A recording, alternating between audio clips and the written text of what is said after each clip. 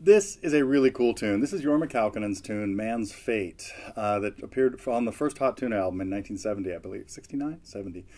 Um, recorded live at the New Orleans House in Berkeley and had just fabulous tunes on it. Hesitation Blues, Death Don't Have No Mercy, Winin' Boy Blues, How Long Blues. Oh, it was, this album had a huge impact on me, more than influence. And it, it, it kind of sent me off in a, uh, in a direction of, of wanting to do these really cool guitar things. In this case, mostly bluesy ones.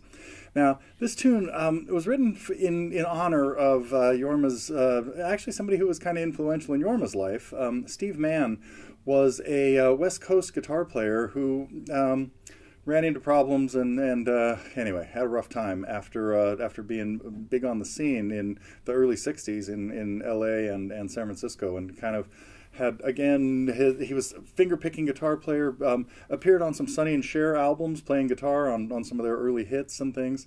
And um, he, some of these licks were things that Jorma kind of got from Steve and, and really put together. And um, so anyway that's what we're going to do in this in this uh, lesson is take a look on just the parts I played right there. Now Jorma goes into long improvised parts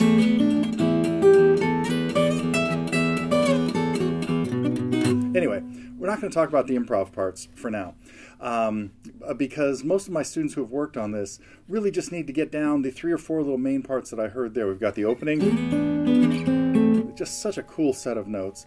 We've got a really just kind of rapid alternating bass thing that is just a, a B it's really an E minor add 9 with B in the bass chord. We just got what looks like a B power chord moving up to a C power chord, but keeping the top three strings open, and just really fast picking in there. So I'm not even going to go too far into that. You just have to rip through it and and kind of make sense.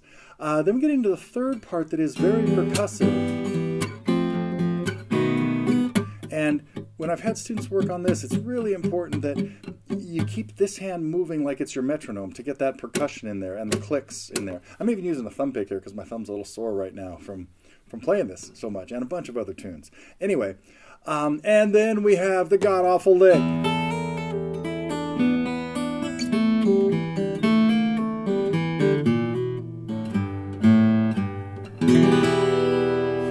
That's how it goes slowly.